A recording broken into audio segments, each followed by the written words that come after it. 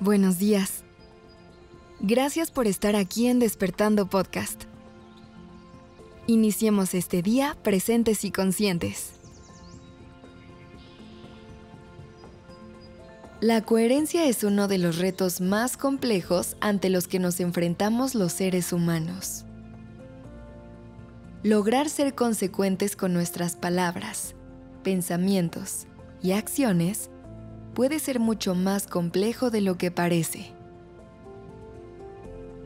Es fácil predicar con valores como la honestidad, la empatía y el respeto, pero el verdadero reto es ponerlos en práctica. Ser coherente implica que nuestras acciones y palabras estén en línea con nuestros valores y principios. Es fácil decir que valoramos la honestidad, pero estamos dispuestas y dispuestos a decir la verdad aunque nos cueste. Es fácil decir que valoramos la empatía, pero ¿somos capaces de ponernos en los zapatos de las demás personas y entender sus perspectivas? Es fácil decir que valoramos el respeto, pero ¿tratamos a quienes nos rodean con la misma consideración que nos gustaría recibir?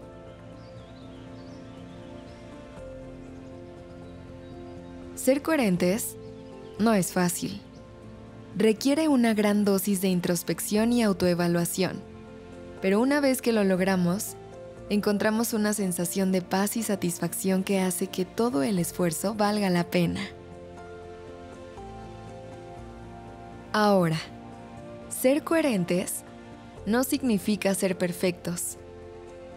Todas las personas del mundo cometemos errores y es importante tener la humildad de admitir cuando nos hemos equivocado.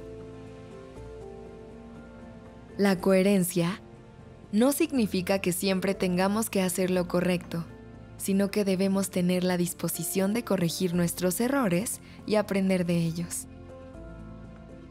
A veces sentimos presión por seguir una imagen que no es auténtica, una imagen que no refleja lo que realmente somos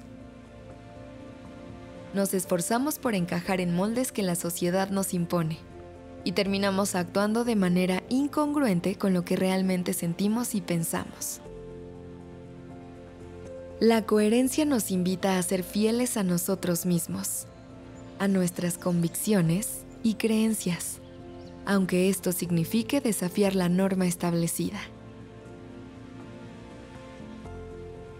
Seguir esta línea también nos ayuda a tener un sentido de propósito y dirección en la vida.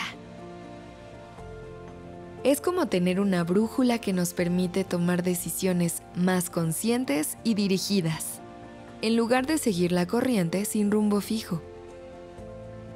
Nos permite tener una visión clara de quiénes somos y hacia dónde vamos. Nos ayuda a vivir con mayor propósito y significado. Pero, ¿cómo podemos lograr la coherencia en nuestras vidas?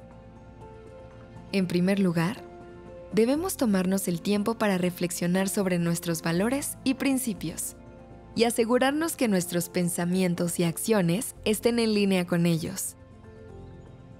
Recuerda que el secreto es vivir con conciencia para poder caminar con intención.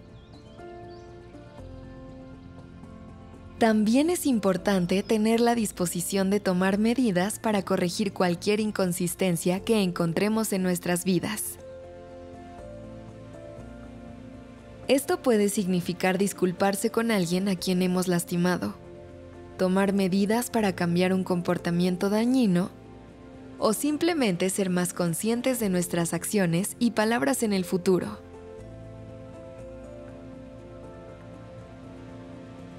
Así que toma esto como tu señal para conectar con tu autenticidad, para empezar a vivir una vida presente y consciente, para dar los pasos que genuinamente quieres dar. Toma esto como tu señal para ser quien quieres ser y trazar el camino que tu yo más auténtico te pide. Tómate un momento contigo descubre quién eres y actúa en conciencia con ello. Este episodio es dedicado a Karen Pizaña de nuestra comunidad en redes sociales.